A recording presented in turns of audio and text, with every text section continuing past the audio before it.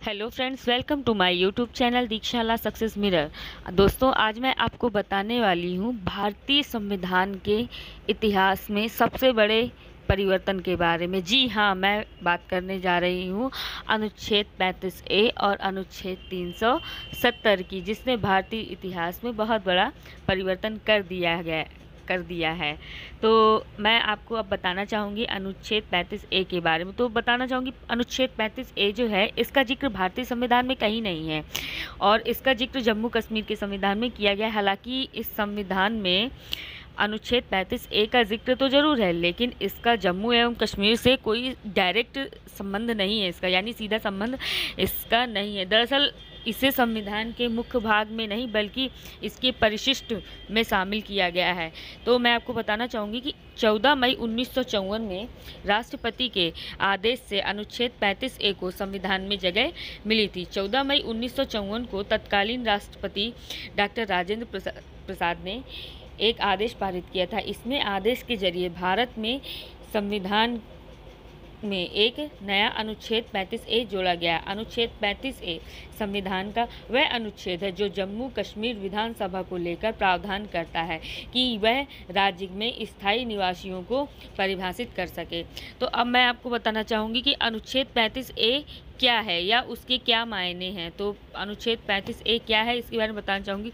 कि अनुच्छेद 35 ए से जम्मू कश्मीर राज्य के लिए स्थायी नागरिकता के नियम और नागरिकों के अधिकार तय होते हैं।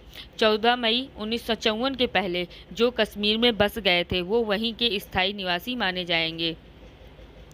फिर है, वह व्यक्ति जो जम्मू और कश्मीर का स्थायी निवासी नहीं है, राज्य में संपत्ति नहीं खरीद सकता। और इसके बाद और बताना चाहूँगी कि अनुच्छेद 35 ए में मतलब लोगों के क्या क्या मायने हैं क्या क्या उनको मिल सकता है। तो आपको बताना चाहूँगी कि वह व्यक्ति जो जम्मू कश्मीर का स्थायी निवासी नहीं है, वह जम्मू एवं कश्मीर की सरकार सरकारी नौकरियों के लिए आवेदन भी नहीं कर सकता था। वह व्यक्ति जो जम्मू और कश्मीर का स्थायी निवासी नहीं है, वह जम्मू और कश्मीर की सरकारी विश्वविद्यालयों में दाखिला नहीं ले सकता था, ना ही राज्य द्वारा कोई वित्तीय सहायता प्राप्त कर सकता है।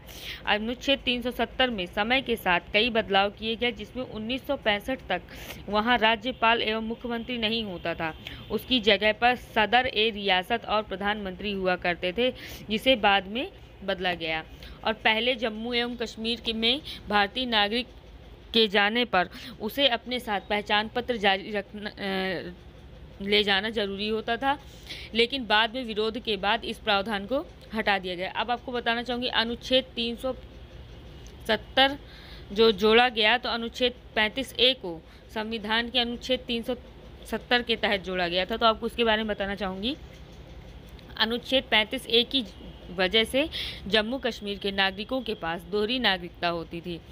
अनुच्छेद 370 की वजह से जम्मू कश्मीर में अलग झंडा, अलग संविधान चलता था या होता था। संविधान अनुच्छेद 370 के कारण कश्मीर में विधानसभा का कार्यकाल छः साल का होता था, जबकि अन्य राज्यों में पाँच साल का होता है।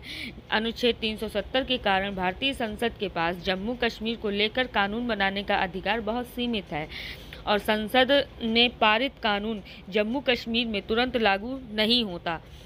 शिक्षा व का अधिकार सूचना का अधिकार मनी लॉन्ड्रिंग विरोधी कानून और भ्रष्टाचार विरोधी कानून कश्मीर में लागू नहीं होते। इससे यहाँ ना तो आरक्षण मिलता ना ही न्यूनतम वेतन का कानून लागू होता। तो आ, ये हमने आपको जानकारी दी। अनुच्छेद 35 ए के बारे में।